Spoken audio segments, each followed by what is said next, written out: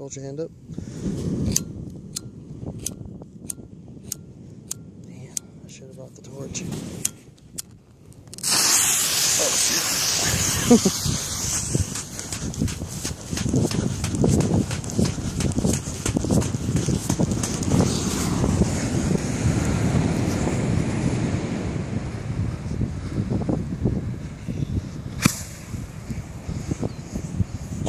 another motherfucker.